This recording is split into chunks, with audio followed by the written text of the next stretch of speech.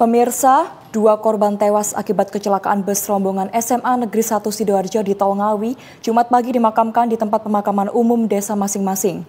Proses pemakaman diwarnai isak tangis keluarga.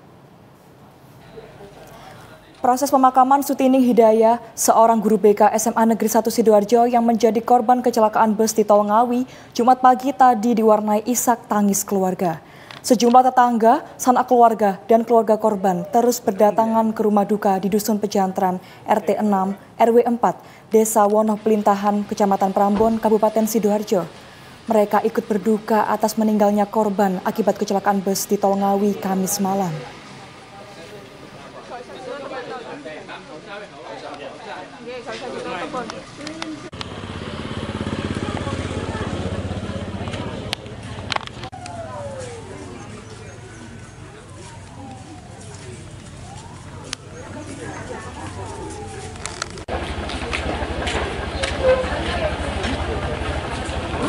mang. Gak usah weh gak apa-apa cak iman gak usah gak usah gak usah cak iman kemang lagi eh, ya alat katanya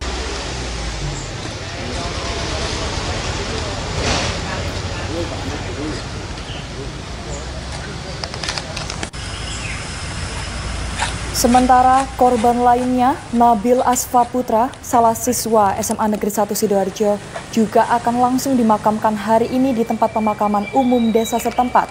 Sejumlah keluarga korban dan tetangga juga masih memadati rumah duka di Jalan Yosudarso, Kelurahan Pucang, Kota Sidoarjo. Suasana sedih dan isak tangis juga mewarnai proses pemakaman tersebut.